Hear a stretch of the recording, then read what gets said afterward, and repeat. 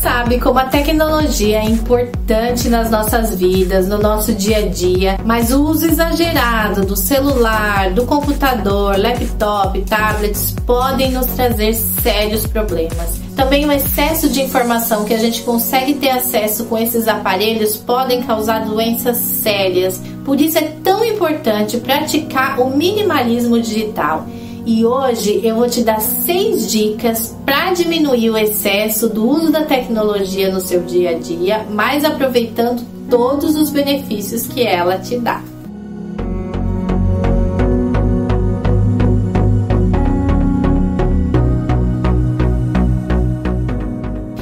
Você ainda não é inscrito no canal, aproveita para se inscrever agora e ativa o sininho para receber uma notificação assim que tiver um vídeo novo que eu publico todas as semanas sobre minimalismo e desenvolvimento pessoal.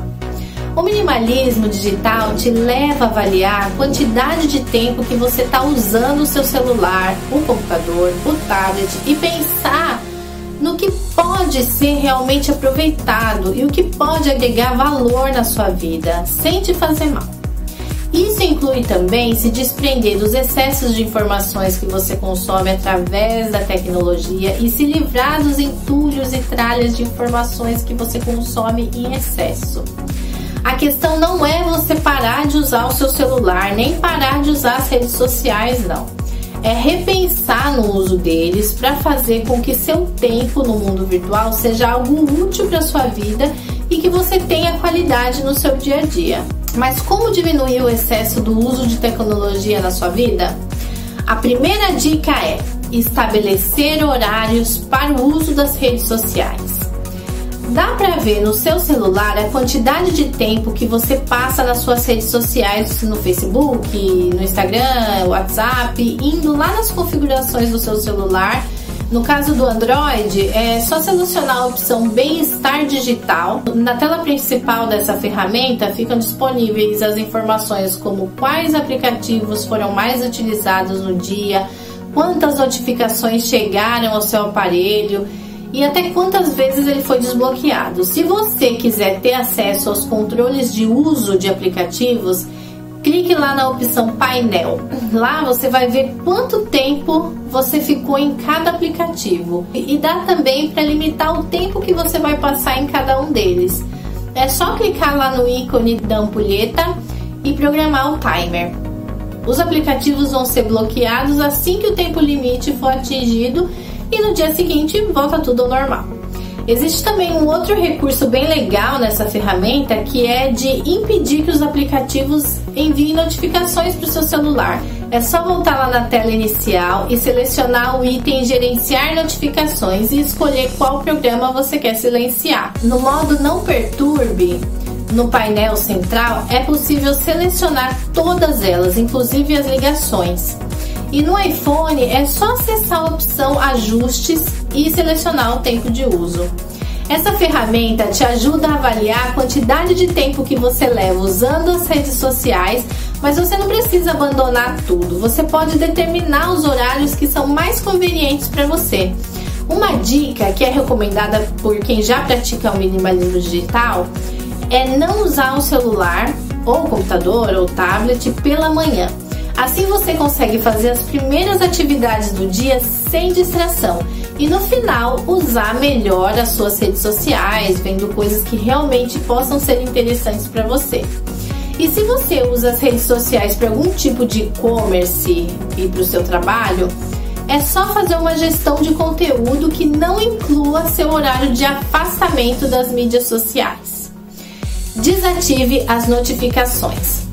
Aquele barulhinho de mensagem nova é muito tentadora para que você pegue o seu celular. Aí você acaba olhando a notificação e acaba aproveitando para dar uma olhadinha nas suas redes sociais e quando você se dá conta, ficou um tempão bem maior navegando do que só dar uma olhadinha lá na notificação. Isso acontece com todo mundo, por isso, desabilite a função dos aplicativos das redes sociais. Para não perder um, um recado importante, continue com as notificações do WhatsApp mas vai lá e silencia os grupos que você participa. Você pode também configurar seu aplicativo de e-mail no celular para que ele Só atualize quando você fizer isso manualmente. E você também pode sempre colocar o telefone em modo avião quando não quiser ser distraído. Use menos aplicativos para fazer mais coisas. Os aplicativos podem realmente nos ajudar muito. Existe uma solução de software para quase qualquer tipo de problema. Os aplicativos podem realmente nos ajudar muito. Existe uma solução de software para quase todo tipo de problema, mas administrar suas atividades em vários aplicativos pode desacelerar sua produtividade, enchendo seu telefone de notificações. Então coloque todas as suas listas de tarefas pessoais e de trabalho, por exemplo, no Trello. Coloque todos os seus compromissos no Google Calendário. Coloque todas as suas novas ideias no Evernote. Isso pode manter a sua concentração por mais tempo e reduzir o número de aplicativos na sua rotina. Organize a caixa de entrada do e-mail. O e-mail também pode fazer você passar horas em frente à tela do computador. Você precisa se livrar de e-mails antigos ou daqueles contatos que não fazem mais sentido para você. Não assine newsletter que você não vai ler. Não faz sentido e elas ocupam muito espaço na sua caixa de entrada. Para aquelas mensagens que vale a pena serem guardadas, crie pastas e armazene por lá. Se você usa o seu e-mail há muitos anos, pode ser que demore um pouco para você organizar os seus e-mails antigos. Tenta usar pelo menos 10 minutos do seu dia para fazer isso e aos poucos você vai ver as coisas se normalizando. Agrupe tarefas digitais. Quando você fica dividindo a sua atenção entre as abas do seu navegador ou dos aplicativos para tentar ser mais eficiente e fazer várias coisas ao mesmo tempo, na verdade, só te faz perder mais tempo, porque dessa forma é muito mais fácil de você se distrair entre todas aquelas abas e não conseguir terminar suas tarefas de forma eficiente.